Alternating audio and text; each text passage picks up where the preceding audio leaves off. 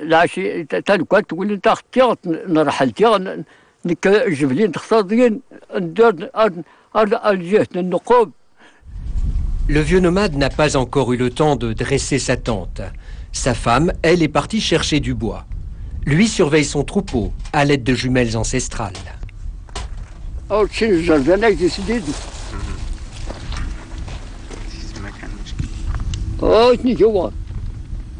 تشين الجردانة جسديد أو شي. أو تني وغنجي في السيل آه تنتني لا لا لا خلنا يوحل اجاني يمشي لا شان الحشوش. أنا لا الحشوش انت بحث وخضر نكتر نتدو. حسيش دوامان دوامان تني الحشوش دوامان نتدو بلا كان تشتري الغمان تعمر الحوايج دي سردون دا كاين لا لا سردون كلا دار تنهوتين Mais trêve de discussion pour notre vieux berger. Il est temps de préparer le pain.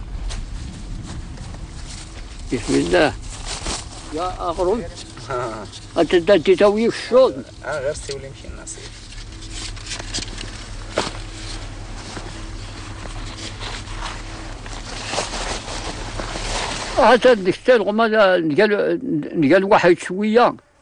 الروده تحت نار السواق لكن أنا نتحطو غير لغما نار نتدو ارتدو ارتدو يمشي تمون غد الحوايج الوقت ناجن راه حاليا حاليا نمون هاد البهايم نزدغ يختم غنكور الحوايج يمشي أو شان دوري لي شان يجدان ولا لا نشان تخوض الحوايج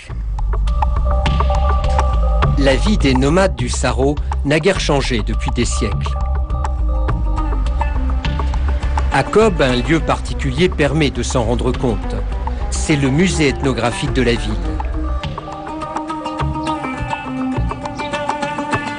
Situé dans une casbah et créé en 1945, il était au départ un simple lieu où l'on avait entreposé des souvenirs des tribus nomades de la région.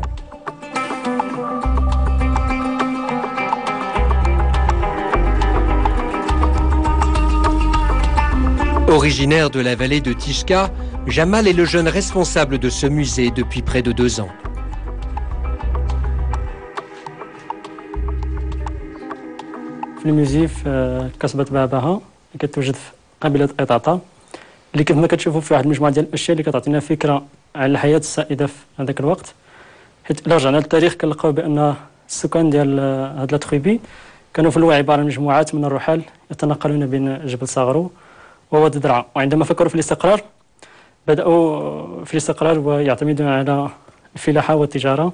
وكيف ما كتشوفوا يعني لي ماتيريال اللي كانوا يعتمدوا عليهم مثلا في الفلاحة ماتيريال بسيطة وتقليدية محلية. مثلا نشاغي لا فاسون دو دو لابوغي لا تير دونك كاين دغمادير أو بيان نان كي تيغي لو كي شيوري كتشوفوا كذلك مثلا اللباس السائد هذاك الوقت. أو مثلا حتى الأواني طبيعة الأواني اللي كانت تستعمل في المطبخ أو حتى نوعية السلاح.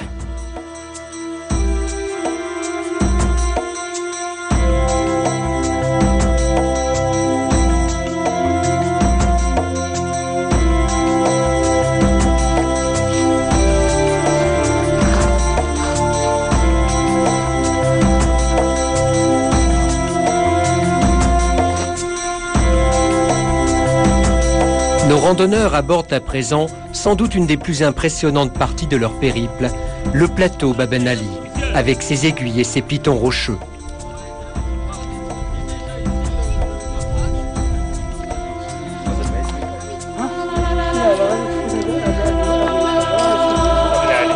Un plateau fermé symboliquement par une porte entre deux colonnes en pierre. Voyez là, la crête, là, on contourne la crête. La, la- le sentier, il n'existe pas, mais quand même un peu de, de petites, petites pierres. La porte d'Ali Baba, c'est une porte normalement légendaire. Les gens, les berbères ici, utilisaient le mot parce que c'est c'est géant. Et le troupeau passe dedans. Il est béni des dieux. Euh, je- normalement, Ali Baba, comme vous savez, c'est- c'est une- c'est un personnage légendaire, il n'est pas, il n'est pas réel. Donc tout ce qui est grand, gigantesque, on appelle Alibaba.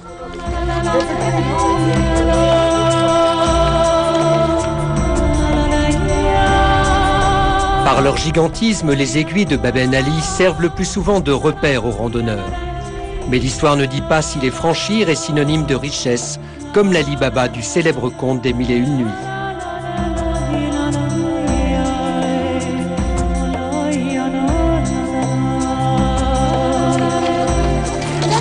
Encore un peu de marche et le groupe arrive au bivouac, celui d'Ousdiden.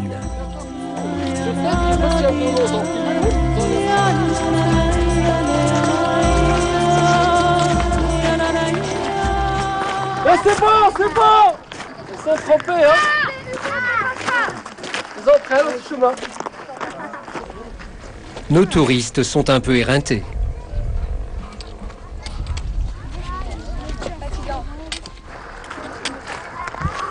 C'était une bonne journée. Fatigante.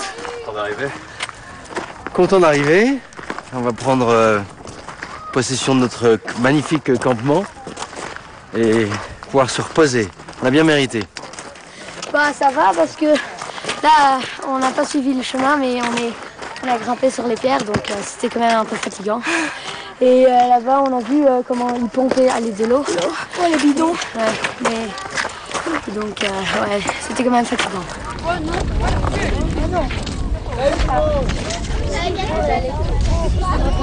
L'heure est maintenant au repos et à la détente avant le repas du soir. Ça va? Ça va ta mule Ah, elle est fatiguée, le petit, là. C'était bien aujourd'hui, mieux qu'hier. Très bien, ils ont bien marché. Mais regardez, ils ils ont quand même beaucoup, hein, ils ont- avec un bon rythme. Et les enfants, quand même, ça nous étonne. Ils marchent bien. Il y en a en tout cas qui ne se reposent jamais. Ce sont les muletiers. Une fois qu'ils ont dressé le campement, ils préparent la cuisine.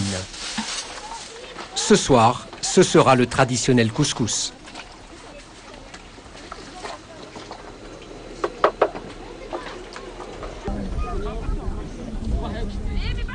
Bientôt, les portes d'Ali Baba se referment sur la nuit.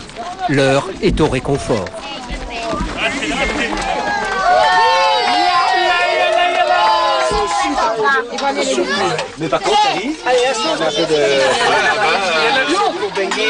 C'est le moment de reprendre des forces avant la veillée qui sera très animée.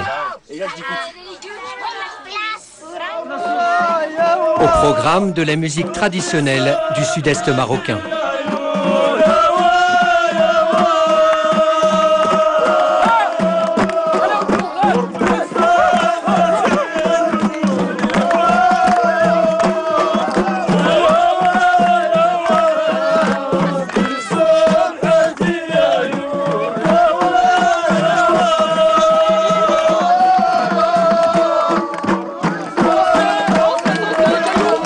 Un dernier moment de rythme, de danse et de partage pour sceller le coffre des précieux souvenirs, ceux d'une splendide randonnée dans l'univers chaotique et fantastique du Saro.